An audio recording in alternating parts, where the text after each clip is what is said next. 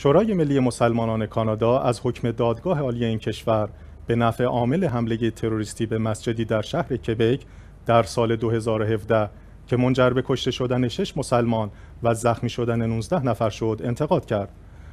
دادگاه عالی کانادا حکم داد که الکساندر بیسپنت می تواند 25 سال پس از محکومیت خود برای آزادی مشروط درخواست کند. این شورا در بیانیه اعلام کرد که مسلمانان در کانادا همچنان از این جنایت رنج می‌برند و بر اساس این حکم خانواده های قربانیان باید تا 25 سال بعد که زمان عفو عامل جنایت فرا می‌رسد این جنایت را به خاطر بسپارند.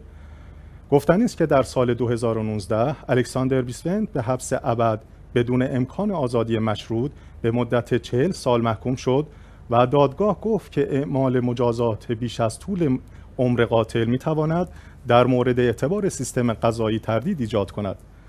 در سالهای اخیر جنایات ناشی از نفرت علیه مسلمانان و اسلام حراسی در کانادا افزایش یافته است و اوج نفرت در حمله به مسجد کبک در سال 2017 نمایان شد که مردی مسلح شش مسلمان را در حال نماز کشت و 19 نفر را زخمی کرد.